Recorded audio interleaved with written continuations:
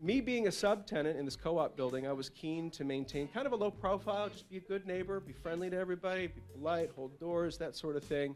Um, not make too much noise, not draw too much attention to myself. Um, unlike the family, maybe, who lived in the unit below me in, in 1D. Uh, I never quite, in the seven years I was in that building, I never quite sussed out the nature of the relationship between the adults in that space. India, uh, the woman who lived there, she was probably in her mid to late 30s.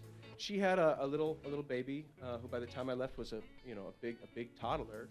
Um, and then there was the man who lived in that apartment with them. And I could never figure out if he was India's partner, cousin, brother. It was never made clear to me. I never saw a moment of affection between them, but you never know what goes on behind closed doors. Perhaps they're not the kind of people that are going to demonstrate any affection they have, or maybe they are just roommates or friends. I, I don't know.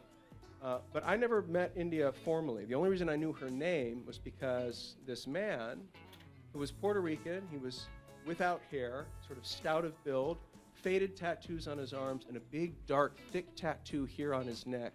Always a scowling look on his face. Sort of a rough and tumble guy. Looked like he'd been down some hard roads.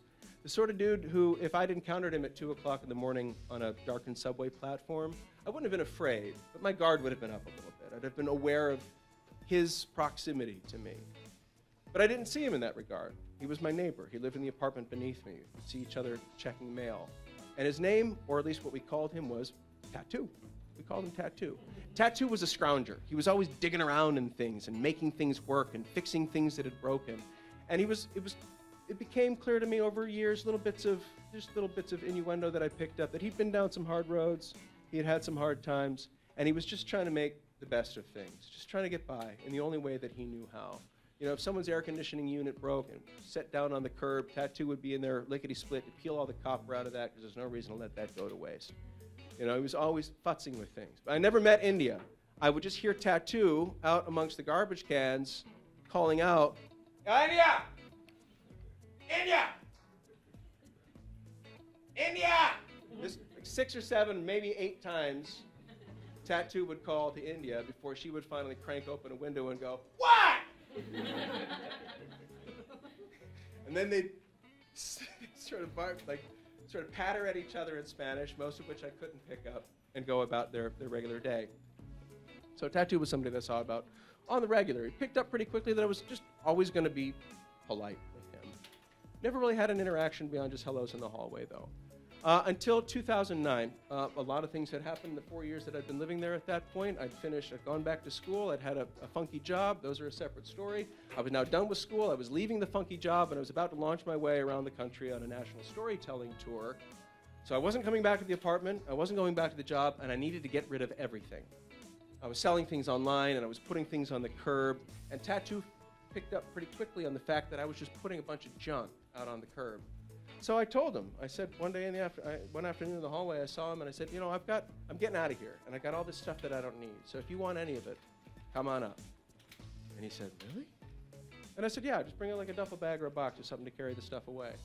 And he was like, all right, all right. And a few more days passed, and I got rid of a few more things. And sometimes I'd see him kind of, you know, faffing around through the piles that I put out on the curb.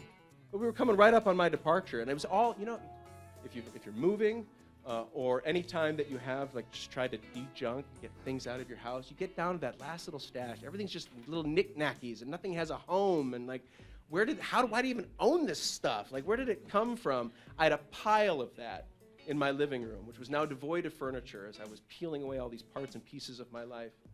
And I saw Tattoo again, and I, I, I encouraged him to grab a duffel bag, and he came up to my apartment. And I wish there, there's no way for me to express to you how extraordinary were the movements, the economical movements of this man who came into my apartment with these two duffel bags. And for me, after weeks of trying to shed all this crap in my life, Tattoo just went, thanks. and it was gone. And I, I can't deny, I made some assumptions based on some of that, but I was just so pleased to have it all out of there that I went downstairs where he was like, kind of digging through and trying to decide what to do with any of these pieces. And I asked him back upstairs for a beer just to thank him and sit down. And apart from inviting him in here into my apartment, you know, to take this junk off my hands. It was the most intimate invitation I'd ever extended the man. I'm, I'm not asking him to do me a favor now. I want him to come back in and just sit with, with me for, for a beer and thank him and, you know, just chit chat. So he comes up and we have a beer. And over the course of this beer, I don't know if it was just the, the strangeness of this new environment the two of us found ourselves in, or if it was the freedom in knowing that I was soon about to set foot out the door, and to the best of his knowledge, I'd never be back again. But Tattoo saw fit to walk me down some of his lanes, his memory lanes, and share with me stories about where he'd come from. We didn't talk long, but he had been in some serious trouble at certain points in his life. That, that dark tattoo on his neck, it wasn't just uh, uh, a signifier of something that was important to him, it also hid a mark on his throat where he had taken a part of a bullet. And he didn't get into the details as to how that had happened or why, and I didn't ask. I didn't need to know.